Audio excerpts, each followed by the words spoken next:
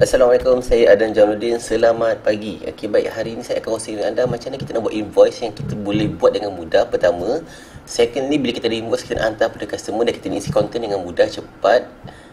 Dan benda ni boleh buat online. Dan nombor tiga, bila kita dah hantar invoice tu, kita boleh set reminder kepada kita punya customer untuk buat lakukan pembayaran. Okey, baik. Siapa yang mudah nak guna, siapa yang patut guna? Pertama, founder business. Second, orang yang ada banyak orang nak susun demi invoice kalau nak tahu berapa jumlah invoice dia pernah buat daripada awal tahun sampai akhir tahun ketiga nak tengok berapa jumlah invoice yang dia pernah buat kalau contoh dalam bulan tu berapa ribu atau berapa puluh ribu berapa ratus ribu yang dia pernah buat dan lastly ialah kita nak satu sistem mudah di mana kita boleh tengok siapa yang tak pernah uh, bayar lagi invoice dia ataupun siapa yang customer mereka yang terlewat bayar ataupun terlupa nak bayar. Jadi kita ada satu sistem yang boleh remind dia orang balik.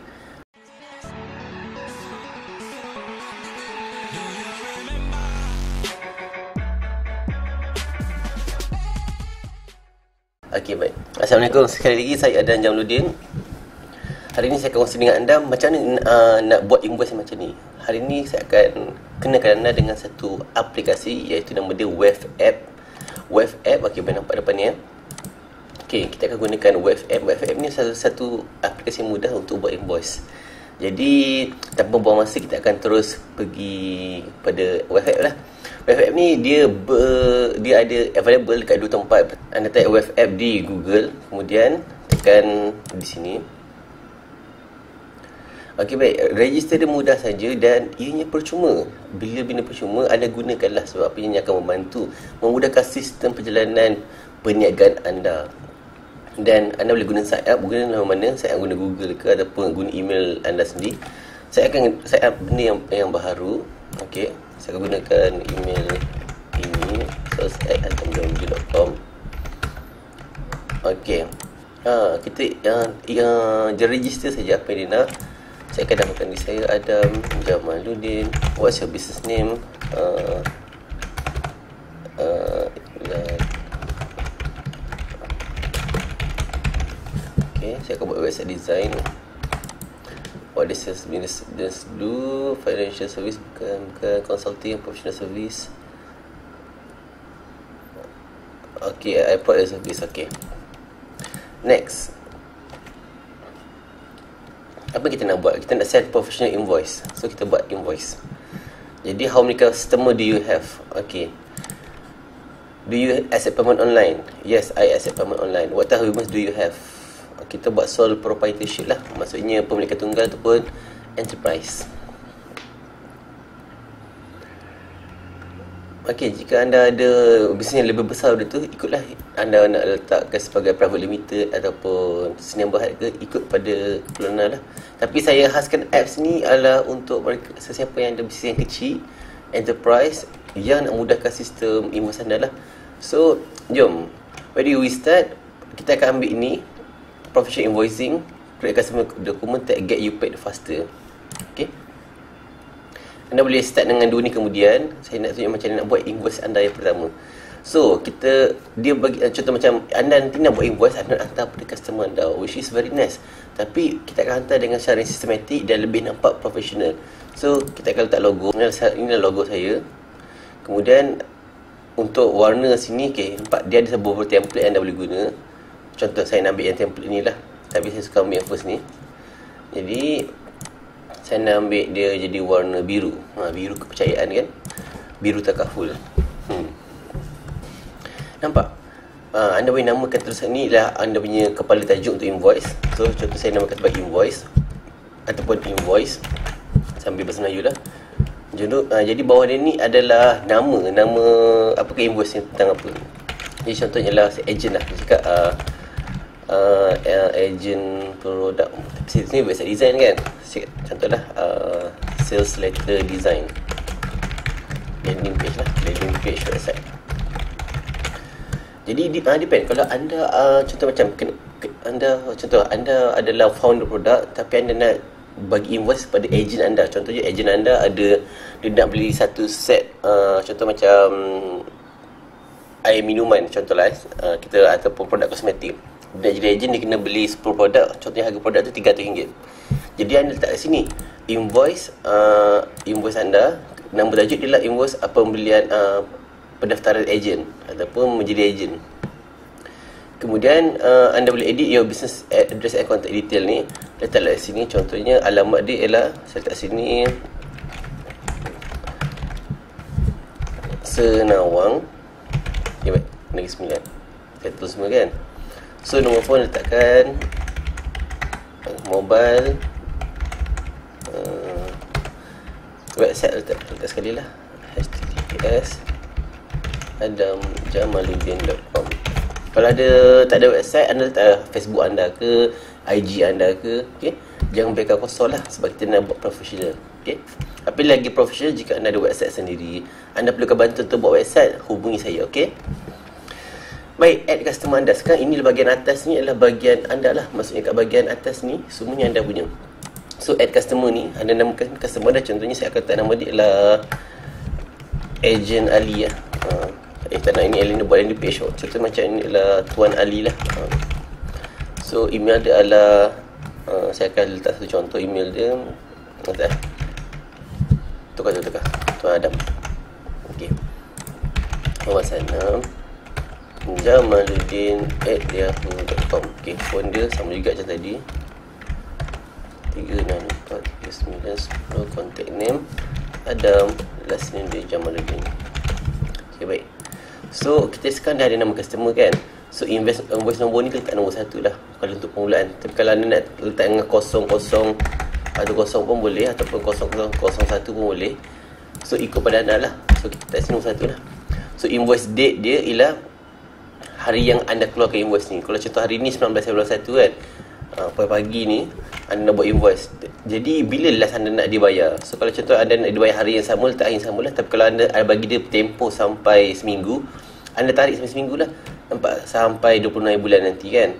Uh, so anda tarik sampai 26 bulan. So contohnya saya nak bagi dia tempoh sehari je. Invoice ni valid sehari je. Lepas sehari kita pada invoice ni. Lah so apakah dia punya isi konten pertama ialah landing page. Saya buat sini landing page. Kalau sekali lagi kalau anda jual produk anda nak agent anda tulis sini agent. Uh, pendaftaran agent. Uh, okay, baik. Pendaftaran agent. Uh, lepas tu apakah dia dia punya isi konten dia? Uh, dapat 10 produk. Uh, contohnya set agent menilai uh, RM300 so kuantiti tak satu sini tak 300 ok baik contoh. So depend. Ini adalah anda punya anda punya content. Ni adalah description dia. Kalau contoh macam saya catat sini adalah landing page website. Lepas tu second ni saya akan letak sini adalah hmm, landing page website. Description dia siap uh, dalam masa satu ke tiga hari bekerja tambah lagi beserta hosting dan domain. Ok baik. Unique design. Ok baik contoh lah eh. So saya letak sini harga 780 ok baik. Oh betul. Ok baik kalau anda ada dikenakan cukai letaklah cukai berapa anda, anda berapa. Uh, namakan cukai ni GST ke SST ke berapa rate dia 6% ke 10% dan anda takkan test number ID jika anda tak ada dikenakan cukai ataupun syarikat anda tak, tak berdaftar dengan LHDN ataupun lembaga tak perlu letakkan dan tidak akan jadi questionable. Ok baik. So saya saya macam saya saya tak ada letakkan sini. Saya kosongkan dulu. Jadi satu total 780 total dia dalam ringgit kita kan. So letak sini biarlah RM dia dah betul ni so nota dia. Nota dia kat sini bawah ialah footer dia ni. Un, uh, nota dia Okay, dan itu nak saya usable uh, antenna start are visible to your customer. So kalau anda ada apa-apa nak letak anda letak lah so di bahagian footer ni uh, kalau uh, di bahagian nota ni anda nak letak contohnya uh, uh, invoice ini invoice ini valid ataupun dalam bahasa Melayu dah apa eh? Uh, contohlah uh, invoice ini sah sehingga uh, berapa bulan tadi? 20 hari bulan 20 Januari 2020 ok baik. So kat bahagian footer ni anda letaklah anda punya cara nak bank in dia ok cara pembayaran. Ok baik. Letakkan nombor, nombor, nombor account Ini saya punya SOP lah. Uh, Kalau anda nak letak cara SOP anda berbeza Anda letak kemudian lah. Tapi ni saya, guide saya guide saya punya guide. Anda Supaya anda boleh ikut lah. Dua jumpa Enam lima dua. Hmm, Maybank So namakan anda punya nombor akaun juga. So uh, inilah Cara pembayaran nombor akaun ni sini tu Email anda. Sales at adamjamaluddin.com Okay, baik. Dah siap dah satu invoice. So, kita cuba hantar, okay? Kita akan hantar kepada Encik Adam ni Tuan Adam ni. Uh, So, dia akan hantar ke sini lah Ke email dia. So, jom kita tekan save and continue. Okay, nampak? Kita approve draft ni. Kalau nak tengok dulu, nampak? Amount dia 780 Due dia tomorrow. So, kita approve draft Dan kita akan send lah Dan tengok kita set invoice. Kalau nak tengok dulu dia, dia jadi macam mana Tekan get share link Kita akan hantar pada orang tu lah. Ha, Ataupun kita terus set invoice. Ok nampak? Kita akan hantar pada ni lah. Customer remote sadam macam di yahoo.com ni. So Kita hantar ni lah email dia akan dapat dah. Contohnya Assalamualaikum. Warahmatullahi Ini adalah invoice Untuk servis Learning page design. Kalau tadi anda buat pasal agent tadi Assalamualaikum ini adalah invoice untuk pendaftaran jadi agent ok lepas tu boleh lakukan pembayaran sebelum 20 Januari 2020 sekian ok lepas tu kalau tengok contoh kopi tu kita hantar kepada kita lah sebagai satu salinan Lepas tu tekan ni juga attach the invoice as a PDF supaya orang tu boleh download. Okey. Kalau nak tengok preview kita tekan preview sini. Saya akan klik di sini. Okey baik. Nampak? But invoice 780 due by January 19 uh, 2020. Ini dia akan dapat dekat dia punya email lah. Lepas tu kalau tekan view invoice ni dia akan keluar PDF tadi lah. Jom kita tengok sama-sama. Uh, Okey baik. Okay baik. Nampak tak? Kemas kan? Sangat kemas. Really really nice. Nampak ni? Cara pembayaran Nombor account Sekian-sekian ni. Quantity ada semua. Ah, Nampak kalau dia baca melalui mobile Macam ni cara dia baca Nampak? Kemas je. Macam ni kan Invoice satu Amount dia berapa Berapa tarikh dia. Semua sangat mudah lah. So jom. Kita hantar betul-betul. So Ni uh, Nampak kita tekan send. Nampak? Nice. Nampak So track your invoice on the go. Download the invoice by web, Wave mobile app. So anda boleh download ni di Play Store ataupun di App Store. Download dan anda uh, login guna email yang anda daftar tadi lah. So which is very nice. Jom kita tengok balik pada dashboard kita ya. Tengok.